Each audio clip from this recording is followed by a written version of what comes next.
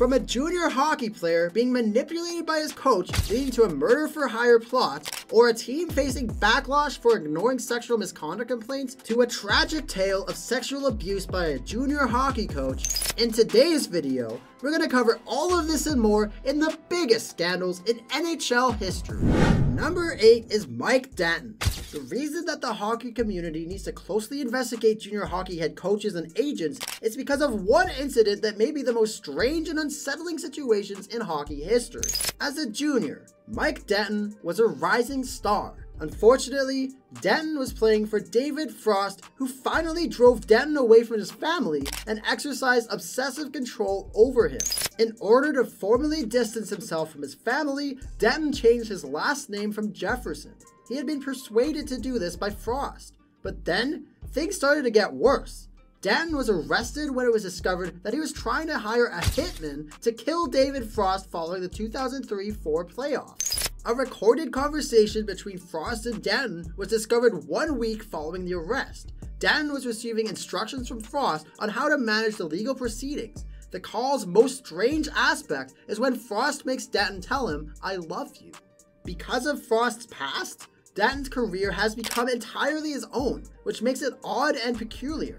12 counts of sexual exploitation involving three girls and four boys between the ages of 14 and 16 were brought against him. Danton currently disputes any attempt on Frost's life. Instead, he claims that because he had experienced abuse as a child, he had actually been attempting to kill his father, Steve Jefferson. This is among the oddest and creepiest stories ever told, and it tells the story of an impressionable child who, due to his lack of thick skin and inability to handle his parents' criticism, turned to someone who appeared to be extremely kind but was only interested in pursuing his own interests, whether or not they were sexual. This is a regrettable tale that highlights the importance of parents being aware of the situations that their children are placed in. Number 7 is Alan Eagleson. He was once a prominent figure as the head of the NHL Players Association, NHLPA, and as a player agent, he fell from grace amidst revelations of misconduct and fraud. For years, Eagleson operated with impunity, shielded by the Canadian sports media until the efforts of a diligent Boston hockey writer exposed his misdeeds. Eagleson's transgressions were manifold as he exploited his positions for personal gain. He defrauded his clients and siphoned funds from tournaments. Among those who bore witness to Eagleson's betrayal was none other than hockey legend Bobby Orr.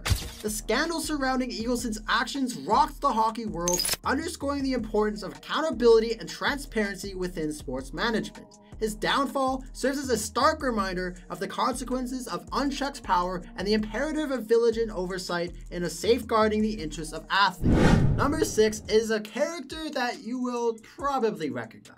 His name is Sean Avery, and we're talking about his sloppy seconds comments. This comment certainly solidified his reputation as a provocateur both on and off the ice. Known for his penchant for stirring the pot, Avery's remarks about Dion Phaneuf's relationship with Elisha Cuthbert while he's with the Dallas Stars caused a significant uproar in the hockey world. His blunt and controversial statement, delivered with characteristic brazenness, drew swift condemnation from the league and led to a six-game suspension from NHL Commissioner Gary Bettman.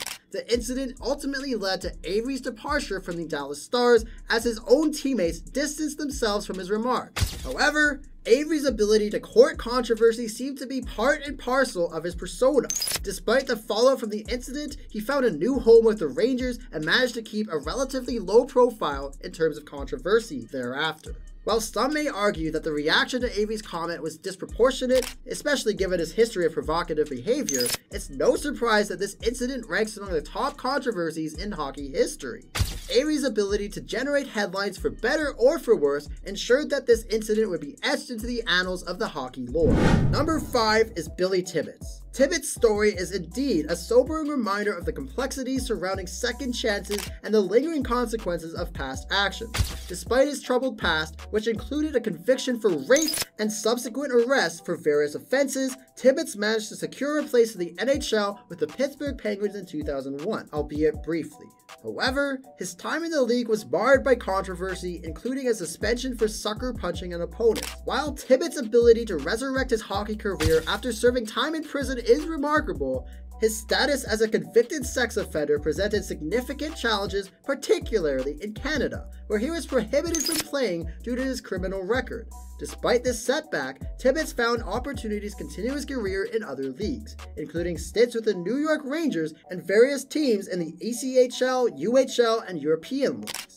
Tibbetts' case serves as a poignant reminder of the complexities surrounding rehabilitation and redemption in professional sports. While his story may not be widely remembered due to his limited NHL career, it underscores the need for ongoing dialogue and scrutiny surrounding the issue of sexual assault and the responsibilities of professional sports organizations in addressing such cases. Number 4 is the 2018 Canada World Junior Hockey Team. The revelation of an alleged gang sexual assault involving members of the Hockey Canada national squad sent shockwaves through the hockey community, resulting in significant repercussions for the organization. Reports surfaced indicating that the incident had been initially overlooked or suppressed, prompting widespread outrage. According to police statements from London, eight members of the national team were implicated in an alleged sexual assault of a young woman in a hotel room in June 2018, following a fundraising event. The victim, who reportedly met the players at a bar after becoming separated from her friends, stated that she was intoxicated and did not consent to the group's sexual activity.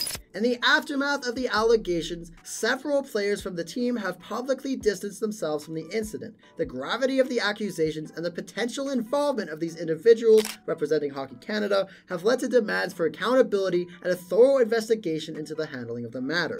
This case underscores the imperative for robust protocols and accountability measures within sports organizations to address allegations of misconduct and ensure the safety and well-being of all individuals involved. Moreover, it highlights the broader societal issues surrounding consent, alcohol consumption, and the responsibility of individuals and institutions to uphold standards or behavior and respect. If you're enjoying today's video so far, please leave a like and subscribe before we get to the top 3. For number 3, we're looking at the Chicago Blackhawks sex scandal.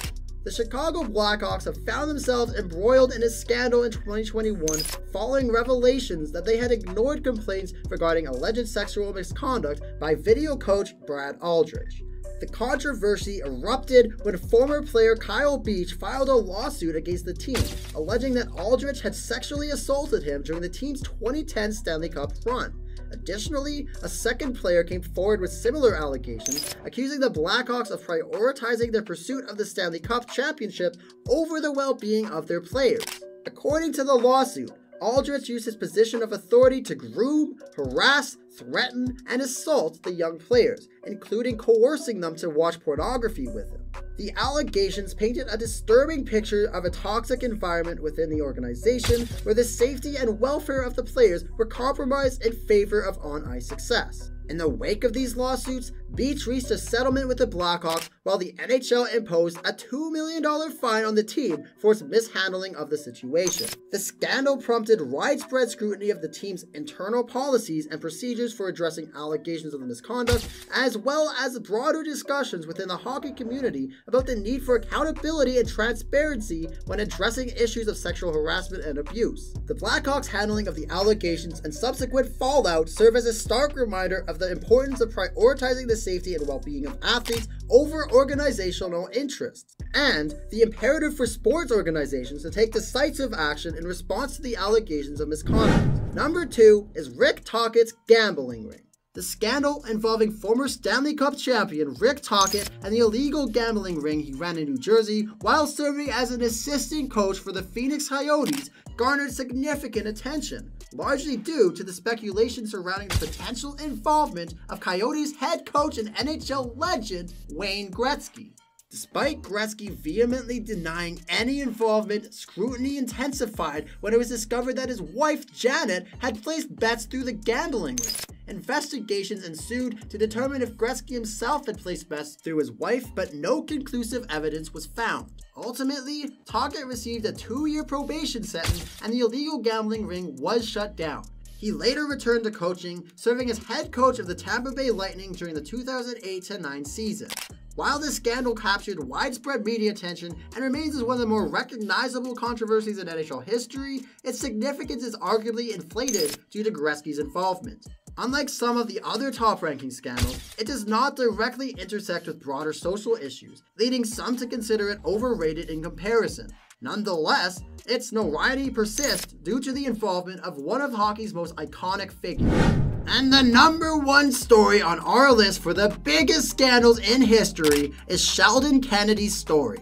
The story of junior hockey coach Graham James' sexual abuse of his players, particularly Sheldon Kennedy and Theoren Fleury, is a deeply tragic and harrowing tale that highlights the devastating impact of such abuse on the lives of these young athletes. James used his position of authority to manipulate and control Kennedy, subjecting him to repeated sexual assaults while instilling fear that prevented Kennedy from speaking out. James' heinous actions resulted in the trauma and suffering of his victims, ultimately cutting short Kennedy's promising hockey career and leading Fleury down a troubled path marked by substance abuse and emotional turmoil. The courage displayed by Kennedy in coming forward to confront his abuser deserves recognition and praise, as it shed light on the widespread abuse perpetrated by James and helped to bring him to justice. Despite facing incarceration for his crime, James' reign of terror extended beyond known victim, with numerous other accusations of sexual assault and molestation surfacing throughout his time in Canada. The tragic impact of James' actions serves as a stark reminder of the urgent need to protect vulnerable athletes from predators within the sporting community, and to support survivors in their journey towards healing and justice. While Kennedy's story may not be as widely known as others, it stands as a poignant reminder of the resilience and bravery of survivors in speaking out against their abusers, and the importance of holding perpetrators accountable for their actions. Kennedy's courage in confronting Graham James' abuse serves as a beacon of hope and empowerment for survivors everywhere, and his advocacy efforts have helped him to shine a light on the issue of sexual abuse in sports. For more NHL content, click the video on the screen to watch the 15 best goalies in NHL history. But before you go, comment if you think that the hockey community can truly safeguard its players from abuse and misconduct, or if the recent scandals are just the tip of the iceberg. Share your thoughts in the comments below. And if you like this video, don't be a bender. Hit the like button, hit the subscribe button, help the algorithm, help us grow, and see you next time.